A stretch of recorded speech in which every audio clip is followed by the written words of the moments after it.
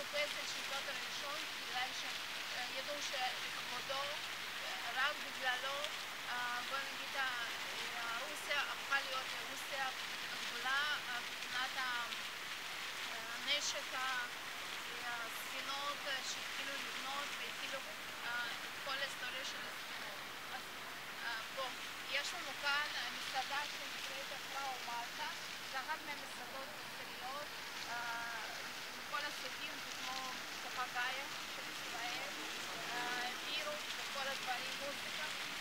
Siapa yang dapatkan roda?